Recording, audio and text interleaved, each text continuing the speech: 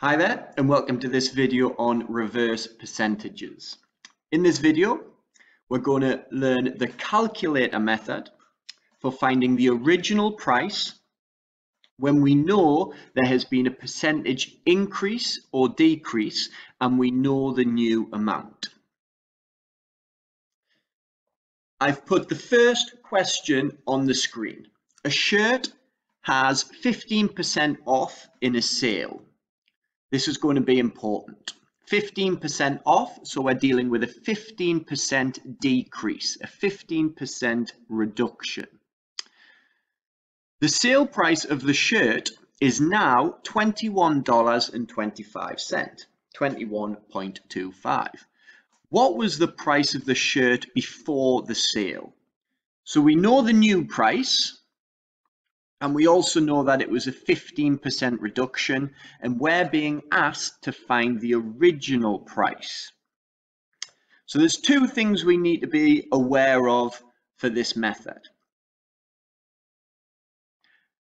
The first thing is we need to be confident in finding the decimal multiplier which represents a 15% discount, a 15% decrease. So the decimal that is associated with a 15% decrease would be 0.85.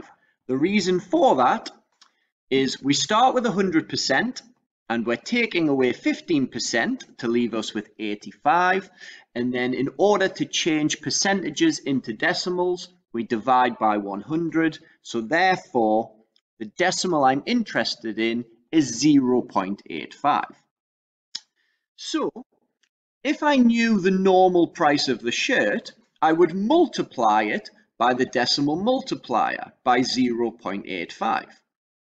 However, I don't know the normal price, but what I do know is that the answer to this calculation is the new price, 21.25. So this is why this topic is called reverse percentages, because we are now going to carry out this calculation in reverse. So we are going to calculate 21.25 divided by 0.85 and that's going to give us our normal price, our original price of the shirt. So the calculation that I'm actually doing is the new price divided by 15% decrease as a decimal multiplier. That's going to tell me that the original price of the shirt was $25. So in order to answer a reverse percentage question, we need to calculate the decimal multiplier that we're dealing with based on the information in the question. We need to think about what the original calculation would have been, and then we do the calculation in reverse and we work a divide rather than a multiply because we're essentially dividing both sides of this equal sign by 0.85. This is what we would put in our calculator. This is the answer to our question.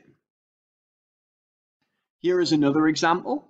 Scott receives a 5% pay increase. That's going to be important, 5% pay increase. His new salary is $756 per week. How much was his weekly salary before the pay increase? Our first two steps. First, we need to find the decimal multiplier that is associated with a 5% increase. So this time there is an increase that has occurred. So 100% add on 5 would be 105%. Then we divide by 100 to change it into a decimal. So the decimal multiplier, which is associated with a 5% increase, is 1.05. So the calculation we would do would be his old salary multiplied by 1.05. That's going to give his new increased salary. But because we don't know the original salary, but we do know the new salary, we can set up our calculation like this, and then we're going to think about the calculation in reverse.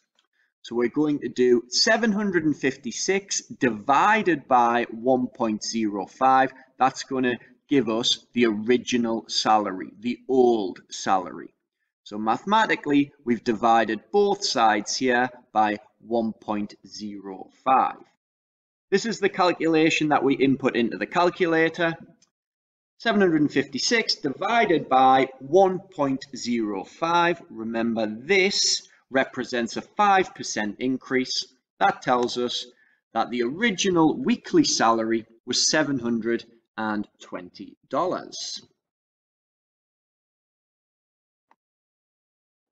Okay, here is another example. Feel free to work ahead of this example if you're feeling confident so far with the topic. John pays $171.50 for his car insurance. This price includes a 30% good driver discount. So we're dealing with a 30% decrease. How much is John's insurance before the discount is applied?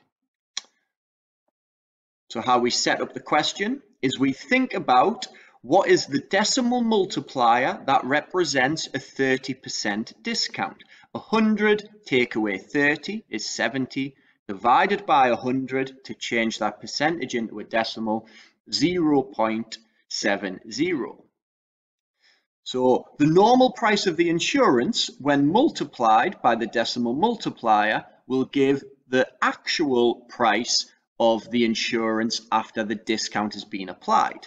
So in order for us to calculate the normal price, before the discount is applied, we're going to do a reverse percentage. The calculation we're going to carry out is 171.50 divided by 0.70. So what goes into our calculator looks like that. And our calculator will tell us that the original price of the insurance before the 30% discount would have been $245. Mathematically speaking up here, what we have done is we've divided both sides by 0.70 to find the original price, the normal price of the insurance before the discount. Last example from me before I ask you to work through a few questions and tasks yourself. Again, you can work ahead of the example if you wish. Jane buys a house. The house increases in value by 7.5%. So we've got an increase of 7.5%. That increase takes place in the first year and is and the house is now worth £268,750. How much did Jane originally pay for the house? So first two things we need to think about. We need the decimal multiplier that represents a 7.5% increase. So 100 add 7.5 is 107.5, all divided by 100 so that's going to equal 1.075. This decimal here represents a 7.5% increase. So now we think about the calculation. The original purchase price of the house when multiplied by 1.075 is going to give the new increased value of the house, 268,750. We want to calculate the purchase price. So what was the price of the house one year ago? So we take the new price, we divide by 1.075, and then we'll be left with the original purchase price. So this is our calculation. And once we calculate that on our calculator, we'll find that the original purchase price of the house was 250 thousand dollars. So Jane originally paid two hundred and fifty thousand dollars for her house. After one year, it increased by 7.5% in value and was now worth this amount. So you can see how much increase took place within the first year.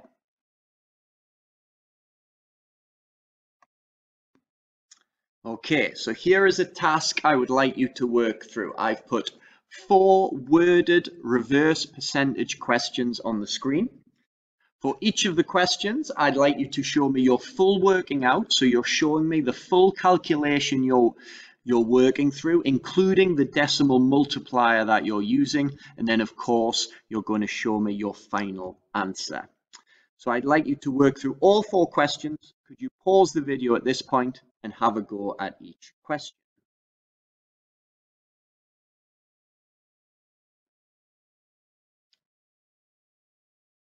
Okay, welcome back to the video. I'm just going to go ahead and show you my answers for each of these four questions. There we go.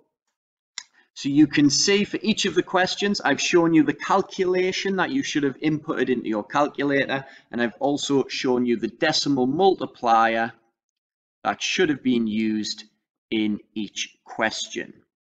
Then you can see where your four answers come from. Very well done if you were able to get all four correct. Okay, we'll move on to one further task.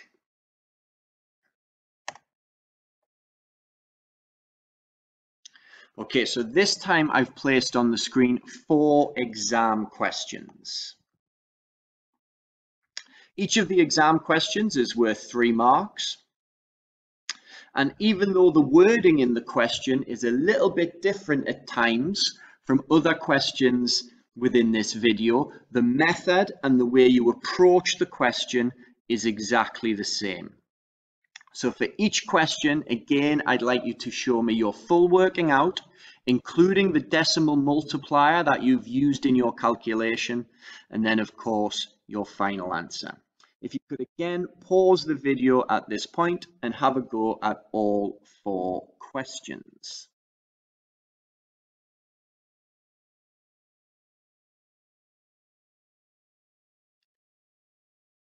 Welcome back to the video. I'll just go ahead and show you my answers. My answers for each question look like that. So hopefully at this point, all your four answers match up correctly. One point to note is in this question, we talk about VAT or VAT at a rate of 20%.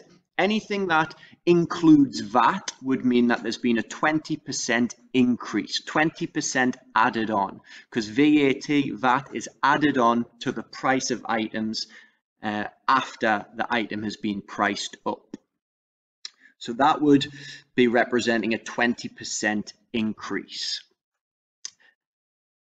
Okay, at this point, hopefully you've got all four correct and you're getting very comfortable with finding decimal multipliers, whether they are for an increase or a decrease.